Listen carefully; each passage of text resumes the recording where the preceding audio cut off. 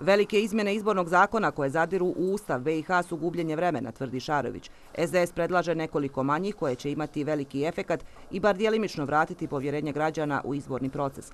To je prije svega potpuna reforma glasanja u odsustvu, odnosno putem pošte, skeniranje glasačkih listića te vraćanje odredbe da je osvojeni mandat vlasništvo stranke, a ne pojedinca. Sve ove odredbe u dosadašnjem zakonu su u suštini bili Eh, jedna odlična platforma za, eh, rekao bih, izbornu korupciju koja je eh, prisutna godinama u Bosni i Hercegovini. Postoje politički faktori kojima ovakav zakon u potpunosti odgovara jer omogućava kriminal koji možemo da nazovemo trgovinu uticajem, odnosno trgovinu poslanicima. Leglo je ogromnih prevara, krađa, u samom izbornom procesu, krađa javnih resursa. SDS je počeo sa pripremama za lokalne izbore, tvrdi Šarović i najavljuje do kraja mjeseca platformu koja će između ostalog definisati pitanje koalicija. Naši partneri mogu da budu samo oni koji u osnovi dijele i politiku Srpske demokratske stranke.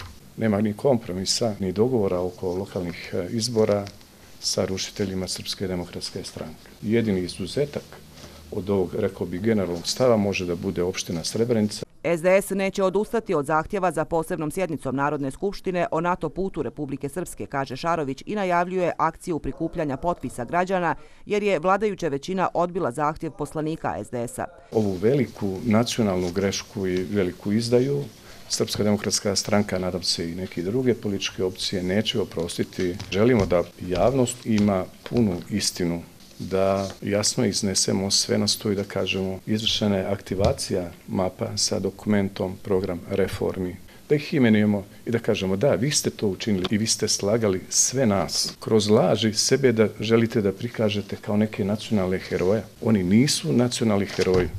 Oni su obični lažljivci. Za SDS je neprihvatljivo to što se Milorad Dodik obavezao da će vojna imovina u Republici Srpskoj biti uknjižena na BiH.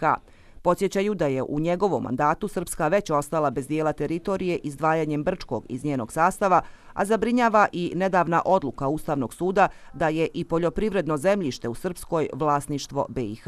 Ja sam šokiran, moram da, da priznam. I s druge strane, a, toliko sam iznenađen da, da je ta odluka na neki način neprimjetno prošla u javnosti u Republici Srpskoj. To nije tako bezlazeno, naprotiv mislim da je pokazatelj nečeg mnogo većeg što eventualno može sutra da dođe na dnevni red. Ja polazim od toga uvijek da nakon Daytona ono što jeste na teritoriji Republike Srpske, da je uvijek vlasništvo Republike Srpske i priželjkujem da u ovom pitanju otvorimo neku širu raspravu na sjednici Narodne skupštine. Od kako su Milorad Dodik i njegovi koalicioni partneri došli na vlast na nivou BiH, Republika Srpska gubi teritoriju i uticaj. Šarović podsjeća da Republika Srpska trenutno nema ni jednog predstavnika u obavještajno-bezbjednostnim strukturama BiH u Centralnoj banci, odnosno sektoru financija, kao i u sektoru spoljnih poslova.